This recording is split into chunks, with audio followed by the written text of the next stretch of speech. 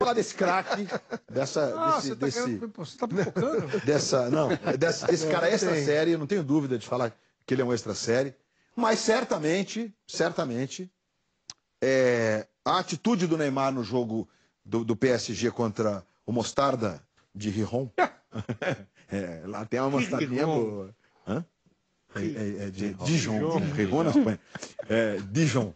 É, o Neymar é, não foi só o fato dele não ter servido ao Cavani, que ia bater o recorde de gols, porque o Cavani ainda é o maior ídolo do PSG. E vai bater o recorde. ba- Vai bater, mas é o bandeirão do Cavani é maior do que o bandeirão do Neymar, ainda. Né? Mas o gesto nobre de entregar a bola para o Cavani bater o pênalti, certamente o Neymar teria ganho pontos ah, indiscutíveis, principalmente se tratando da França. O Neymar não faz nenhum esforço, ó, ele passa, o Cavani dá uma olhada, ele nem olha para o Cavani. E na França, o comportamento eh, intelectual da, da sociedade francesa é diferente, Neymar, da nossa. Né? Então você vai Já para um tava país... vaiando antes de bater Já o pênalti? estavam vaiando. Parte da torcida é verdade, mas vaiando antes do pênalti. Ele bate, faz o pênalti. E depois ainda tem o segundo capítulo. Ele não vai cumprimentar a torcida. Perfeito, Família. Ele não vai. Ele pega a bola, pelo fato de ter feito três ou mais gols, e sai sem cumprimentar a torcida, eh, em outro gesto agressivo do Neymar. Né? Num jogo em que ele fez um golaço, que na minha modesta opinião é muito diferente do gol contra o Flamengo na Vila. Pô, os caras estão falando que é igual, igual. Ele não, onde tá a meia-lua anormal no último drible? Aquela meia-lua lá que valeu o prêmio Puskas. Né? É, é, é parecida a, a trajetória ali, aquele pedacinho que ele anda. Mas enfim, É um gol mais perto dos gols que ele faz. é, é um gol mais perto dos gols que ele faz. Boa, é uma boa definição. Enfim, aí o Cavani, inclusive, cumprimenta o Neymar ali e tal. Bom, alguns anos atrás, nesse mesmo Bem Amigos, o René Simões falou Luiz, o seguinte Você me dá um minuto Ah, só, porque aí o Neymar ele tem um post dele Hã? que é assim, que ele fala o seguinte: existem pessoas que vão gostar de você e existem pessoas que vão te odiar, mesmo você sendo a melhor pessoa do mundo. Não se culpe quando fulano achar que você é chato ou metido. Inclusive um dos adjetivos que aparecem aqui agora. As pessoas podem achar o que quiser. Isso não muda o que você é. Eu acho que o Neymar vive um drama. Ele até chorou numa coletiva com o Tite. É verdade. Ele vive esse drama, assim, do personagem Neymar, né? Mas todo mundo vai falar sobre o Neymar, porque é, acho que a gente está separando bem as coisas aqui, né? Houve uma série de exageros. O Neymar não é um bandido, gente. Por favor, também, né? Não vamos chegar nesse, nesse nível de adjetivação que não faz nenhum sentido. O Neymar pode não estar entendendo a situação dele ali no Paris Saint-Germain. Eu até tenho é, uma, uma- uma informação é, que o Neymar pelo fato de ser muito amigo do Luiz Soares, o Luiz Soares não tem um bom relacionamento lá na seleção com o Cavani, e que teria dito pro Neymar tomar cuidado, essas coisas todas, essas fofocas todas que rondam a relação das pessoas. Enfim, mais de uma pessoa que tem uma certa proximidade com a situação comentou isso comigo. Não sei se o Neymar tem alguma prevenção, mas acho até que não. Mas acho que ele tem mesmo uma coisa de que é, eu sou o desafiado da vez, eu preciso ser o deus da história, e ele não está pensando no todo. Mas Vamos lembrar o que o René Simões disse depois daquela atitude do Neymar com o Dorival Júnior, técnico do Santos, num jogo na Vila Belmiro. Ele não foi, a primeira vez ele não foi no Bem Amigos, mas ele repetiu aquela situação aqui. Ele veio aqui por conta dessa declaração. Neymar entrou na área e sofreu pênalti. Quem vai pra bola? Neymar? Nada disso. O comandante escolheu Marcel. Revoltado, Neymar foi tirar satisfação com Dorival e acabou xingando o técnico. A partir daí, Neymar abusou do talento. O que irritou ainda mais o técnico Santista. No fim da partida, Neymar saiu calado.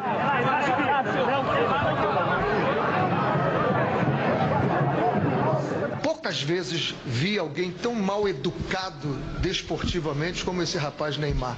O que esse rapaz falou pro capitão da equipe dele, esse rapaz depois o que ele falou pro banco de reserva dele, ele é de uma falta de educação, é, poucas vezes eu vi. Eu acho que está na hora de alguém educar esse rapaz ou nós vamos criar um monstro.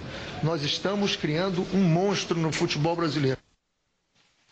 Sem bigode, René Simões. É, alguns anos depois, de 2010 para 2018, são quase oito anos depois. Como é que você interpreta isso tudo? Essas, o Neymar nesse período e atitudes tão parecidas com 2010 e ele já sendo um, um- um astro mundial em 2018. Não, eu não, não, não vejo atitudes tão parecidas, não.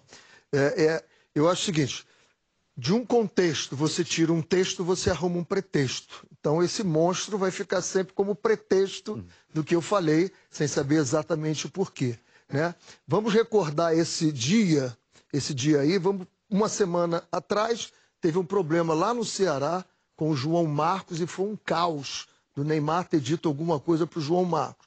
Uma semana antes tinha sido um jogo no Havaí, que ele discutiu com o treinador do Havaí, foi um caos também. Na semana anterior, foi o jogo do, com o Chicão, que ele deu um balão no Chicão. Além disso, um dos assistentes do Dorival era muito meu amigo. Então eu sabia das coisas que estavam acontecendo, todas ao redor. E a minha preocupação naquele jogo foram algumas. Algumas.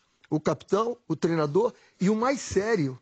O Voaden chama ele para o campo de jogo, para quem não entende muito de futebol, para dar a saída depois de um gol, um time de um lado e o outro, cada um no seu meio campo. E ele não veio para o campo do Santos, ele ficou no campo do Atlético. E o Voaden começou o jogo com ele lá, chamava, ele não vinha e começou o jogo. Acabou o jogo, eu fui ao Voaden e disse, Voaden, nós precisamos educar os meninos.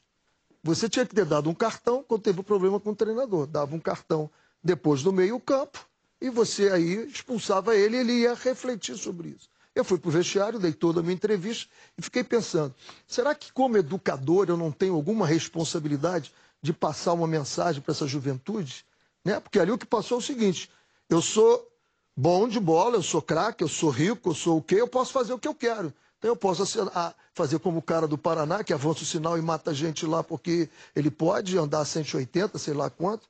Então a mensagem era essa. A minha filha é psicóloga, ela me ligou logo depois. Disse, pai, as palavras foram muito fortes. Eu disse, olha, eu não planejei isso. Então elas saíram como o meu coração mandou ali. Uma espontaneidade. Agora, absoluta. eu tive, Deus me ajudou muito ali, porque eu, eu tive. Aconteceu, sem ser planejado, eu falar mal educado dentro, desportivamente. Então, isso é dentro do campo. Né? Eu não me arrependo de ter feito, paguei um preço. Né? Eu me lembro quando eu vim fazer aqui, eu quase briguei lá fora com, com um dos participantes que não aceitava isso. E eu dizia assim, ó, o Zico teve a idade dele, o Pelé teve a idade dele, Rivelino teve a idade dele, Roberto Dinamite, Ademir da Guia teve a idade dele, e nunca se viu isso, nunca se viu isso. Então isso não Quem é era no, esse outro normal, hein? Deixa, não, não Puxa se vida, eu estava apresentando E, esse programa, eu tô e- com e eu expliquei, expliquei para eles. Eu disse, olha, é preciso que, que se eduque ele. Eles não fizeram isso com a idade dele, não é normal. E eu me preocupava em a gente perder um jogador que a gente via que tinha um potencial absurdo, né? E aí vamos a esse tempo. Por que, que eu não Você acho... conversou algum dia com ele? Daí eu mandei uma carta para ele por Mas isso. vocês nunca conversaram explicando. pessoalmente? Não, e ele só disse, olha, agradece o professor, mas eu vi- mandei a carta porque eu vi ele num programa da querida Hebe Camargo, e aí que ele- que eram as mulheres entrevistando o homem, só ele, e alguém disse para ele, alguém falou isso do monstro e tal, e a Hebe não me conhecia, óbvio, e aí a Hebe disse assim, ah, essas pessoas são insignificantes. Ele falou, não, o professor é uma pessoa séria. Ele respondeu. falou isso. O professor é uma pessoa séria. É aí você- eu resolvi escrever para ele. E, e nessa carta você, você- Eu explicava para ele o porquê que eu falei aquilo e o que, que eu desejava Claro, para ele. claro, Como é que você bem. o vê hoje? Hein? Como é que você o vê? Eu, eu acho que nesse contexto do Paris Saint-Germain é diferente, por quê?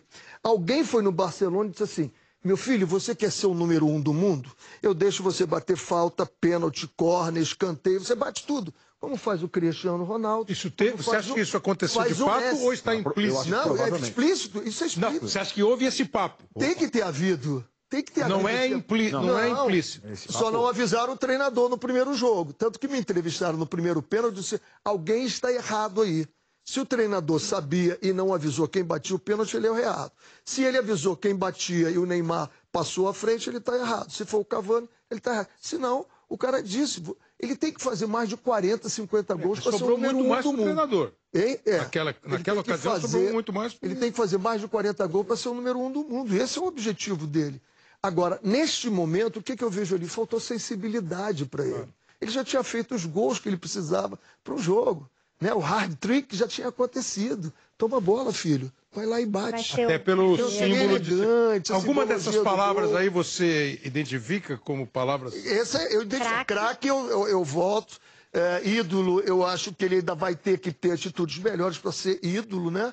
né? Mesmo no Brasil? Me- mesmo no Brasil, eu acho que ele vai precisar ganhar a Copa do Mundo, que está grande chance É dele escrever, ganhar também. construir uma história, né, Reni? A história passa Exatamente. por uma Copa o ídolo, do Mundo, o ídolo claro. tem que ter títulos, né? Então É passa porque por uma ídolo, às vezes, a gente Mundo. confunde um pouco, né? É, o cara ser ídolo não é o cara ser bom. conhecido e tal. O ídolo é, é um conjunto de coisas em torno Não, disso. sem dúvida. Conjunto de- Só Deixa eu ouvir a opinião do Caio Ribeiro sobre o.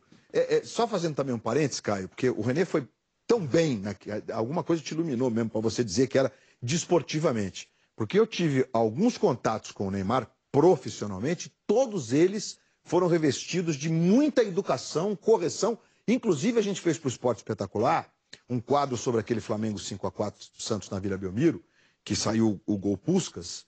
E a gente foi lá para a Vila Belmiro e o Neymar foi ser o entrevistado. É, é, o Neymar já estava, digamos, num patamar acima é, de 2010. né? Já era o Neymar que ia provavelmente para o Barcelona, que sempre foi o sonho dele. No meio do caminho, ele já tinha ganho o prêmio Puskas. No meio do caminho, isso foi quando completou um ano do jogo. No meio do caminho, a gente, nossa, esquecemos de pedir para ele trazer o troféu. O Neymar estava a cinco metros da Vila Belmiro. Ele deu meia volta, foi em casa, buscou o troféu. Quer dizer, isso é uma, é uma, uma atitude que ele está fazendo com prazer. Tá, com- né? Então é, é bom Isso deixar foi em claro. que ano? Isso foi em 2012 aí, 12. né? 12.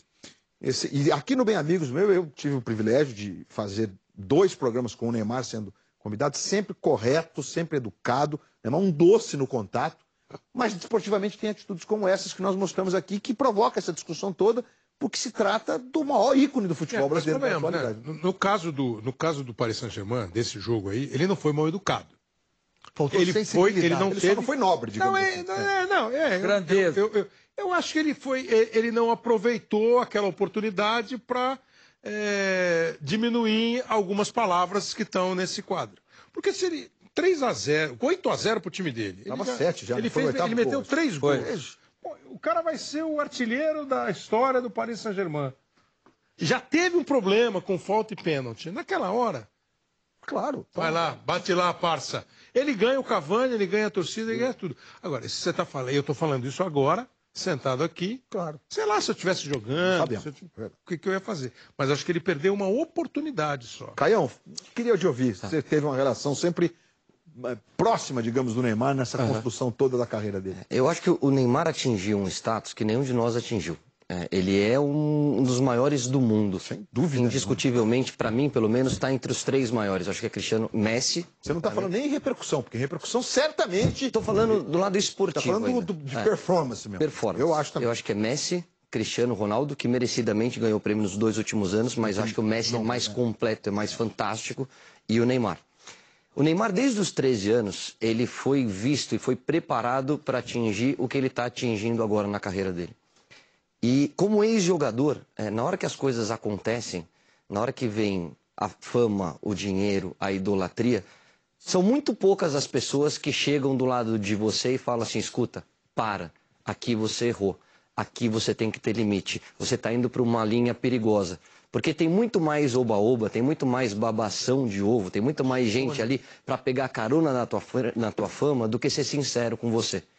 O que eu acho que a gente tem que tomar um pouco de cuidado é em fazer juízo de valor, porque o Neymar é um moleque do bem. O Neymar é um moleque do bem, o Neymar é um moleque família, o Neymar é um moleque que, se você conversar com ele, eu tenho um pouco mais de proximidade. É um cara que, quando dá toda essa repercussão, ele sente. Ele fica chateado, ele sabe o que está sendo falado sobre ele e ele repensa as atitudes. Eu vou nessa linha. Ele foi contratado para ser o cara. E para ser o cara, ele está tomando algumas atitudes que até esse pênalti do Cavani eu achava que ele estava correto. Agora acho que ele perdeu uma oportunidade de ser mais simpático.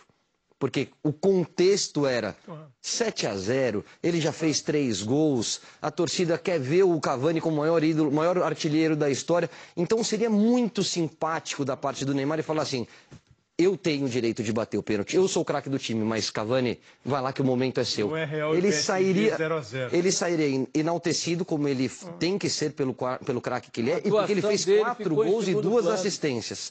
Agora, é, nós, dito tudo isso, eu acho que o Neymar não entendeu ainda o que é a França. Isso, eu que acho. é um, um jeito diferente de se pensar, não só o futebol, mas as atitudes. a vida. Eles são mais duros, a imprensa é mais dura e tem muito mais consequência, né? muito mais repercussão às suas atitudes, até comportamentais, do que aquilo que você faz em campo. Eu acho que isso que está faltando para o Neymar.